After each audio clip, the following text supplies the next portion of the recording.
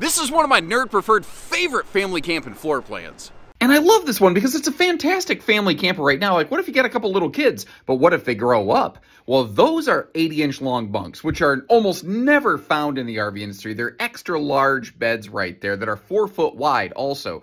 Now, that theater seat was directly across from the entertainment center. Slap in the TV of your choice and go to town. This also has a taller ceiling, so as you saw, I can actually stand in the shower even a little bit over six foot without my head being up in that skylight. It also has a private 60 by 80 True Queen bed up front and when you close the slide, you can walk all the way from the bedroom back to the bathroom, access the bunks, and do everything without ever touching that slide button. And if the kids grow up and they move on out, frankly, the layout just works very, very nicely regardless.